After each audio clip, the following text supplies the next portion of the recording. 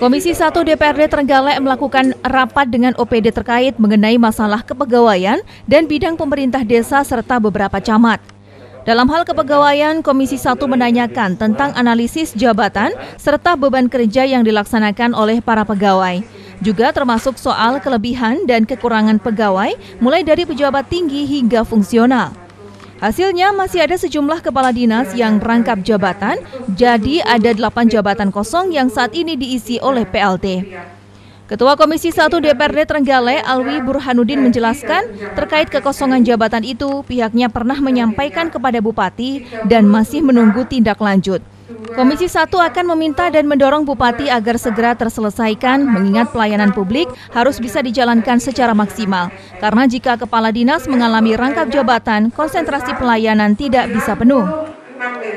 Jadi tadi kita mengundang tadi karena camat itu banyak ya 14, tidak mungkin kita hadirkan sekaligus. Kita undang bergilir dapil satu tadi yang kita undang. Kecamatan kota, kecamatan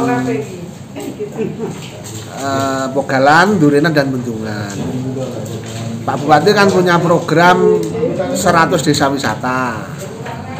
Nah, di dalam 100 desa wisata itu sebagian kan bersinggungan dengan perhutani. Coba kita Komisi Satu mau lihat sejauh mana kerjasama dengan perhutani yang sudah dilaksanakan. Sudah sudah terjalin kerjasama secara legal atau belum dengan perhutani. Untuk hasilnya?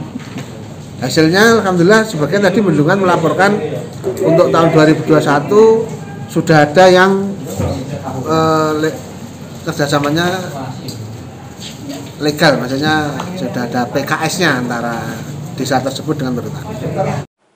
Sedangkan dalam hal pemerintah desa dan camat, Alwi menerangkan jika dirinya ingin melihat program yang telah dirancang oleh pemerintah daerah secara regulasi. Karena ada program 100 desa wisata yang sebagian bersinggungan dengan perhutani. Simon Bagus, Muhammad Herlambang, JDV, Trenggalek.